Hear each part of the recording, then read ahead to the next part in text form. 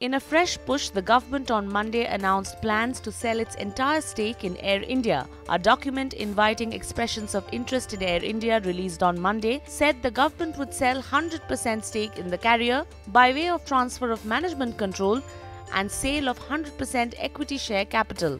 March 17th has been set as the deadline for submissions of initial expressions of interest and any bidder would have to agree to assume roughly $3.26 billion in debt along with other liabilities. The government said that substantial ownership and effective control of Air India would have to remain with an Indian entity following the sale, limiting the scope of any foreign bidders.